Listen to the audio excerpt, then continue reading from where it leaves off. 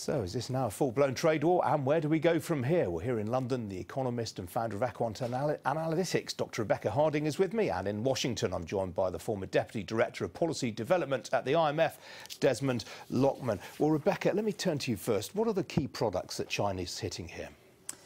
So China's hitting soybeans, which is a big issue for uh, the US. Also aerospace, which is another very big issue for the US. So when the US went to, when President Trump went to China a few months ago, um, he was very keen to strike deals, and a lot of those were aerospace deals. And, and that's kind of emblematic of what the US economy is concerned about doing these big aerospace deals. But the other thing is that, that, that soybeans is really big for the American agricultural market. So that that's going to cre create problems at home for the president. We don't know when these tariffs will actually come into effect, do we? No, we don't. And I think the issue um, is a lot of this is still in the realms of rhetoric. And we have to remember that this is rhetorical to some extent. So are we in a full-blown trade war at the moment? You're seeing some diplomatic, diplomatic spats or some skirmishes on the borders, if you like. A full-blown trade war is when everybody starts getting involved. Well, Desmond Lachman, we've just heard from Rebecca Harding there. These are quite surgical attacks almost by China, products like soybeans that really strike at the heart of, of uh, the Trump voting heartland. Absolutely. That's what they're trying to do. They're trying to respond in a measured way. They're trying to respond in a way that'll be very harmful to Trump in a political sense. Uh, but it's not in China's interest to engage in a full blown trade war the thing with China is they, they have to do something from a political point of view. So what they're doing is they're responding in kind, and there is time to step back from the brink and to prevent us from just drifting into a trade war that's going to be in nobody's interest. So how do we do that? How do we step back from the brink? Well, there's a period before which the American trade restrictions become effective, that there's still a couple of weeks to go before that they're going to be in place. So one does have time uh, to try to find a way in which you can negotiate a deal that'll be in the interest of both parties.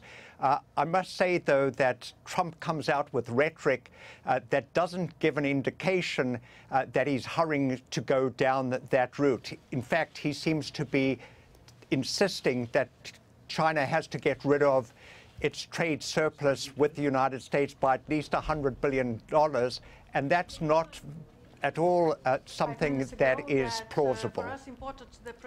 You're nodding along to that, uh, Rebecca. You think that uh, Trump's using this as a tactic to get people to the negotiating table rather than actually hitting them per se? So I think you have to look at Trump's policies generally, and when he's gone on Twitter and stated something about trade, very generally it's been um, something to bring people to the table. So he tends to take this bilateral approach to trade.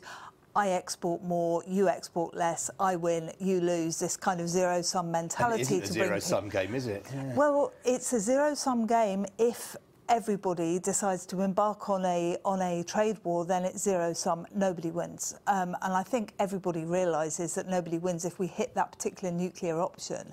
Um, but it isn't a zero sum game because the world is interdependent. Global trade is interdependent, and it's shifting seismically. So it includes things like intellectual property these days. But isn't there an issue here that China could hurt itself? I mean, it's the world's biggest consumer of soybeans. I think takes something like 60% of all consumption, and America produces 60%, where's China going to replace that lost US production from? So one of the interesting routes for China is actually Brazil. Brazil exports an awful lot of soybeans to China as well. Whether or not it can completely replace um, the American Im imports of soybeans is, is debatable. But I think, to be honest, we're, we're, going to see rhetorical escalation at this stage. There is a danger of this spilling into a trade war through political miscalculation, if I can use that. Um, but I do think that actually what we're likely to see is people coming to the table and coming to some kind of agreement because the damage on both sides is too great. I mean, Desmond Lachman, to what extent? I mean, trade wars traditionally tend to hurt countries that operate a trade surplus, like China, like Germany. Do you think that uh, Mr. Trump, in a sense, is holding all the aces here?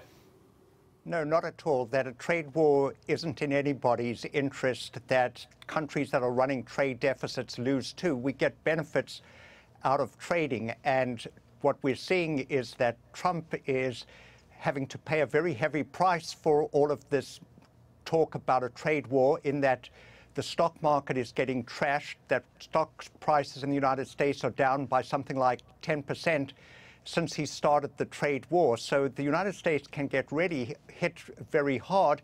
China will probably get hit even harder. It's not in anybody's interest. What Trump keeps saying that we can win a trade war is absolutely nonsense. It just reflects complete ignorance of what occurred in the 1930s when there were absolutely no winners from a trade war. Yes, that lost uh, value in the stock market, pretty striking now. I mean, can that ever be worth it? I mean, is, is Trump making noises about seeing that as being a price worth paying?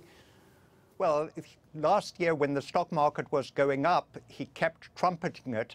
Now what we've seen is we've seen $3 trillion of value wiped off the stock market in the space of a couple of months. That's something like 15% of United States GDP and wealth.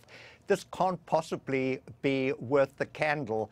Uh, and hopefully what the market is telling him uh, might influence the way in which he behaves. That's really our only hope, that he really listens to the market. He sees that this is a route to which he'll really regret having gone down because it'll be so damaging to financial markets and to the US economy and the global economy as well. All right, Desmond Lachman in Washington, Rebecca Harding here in London. Thanks both for joining me. Thank you.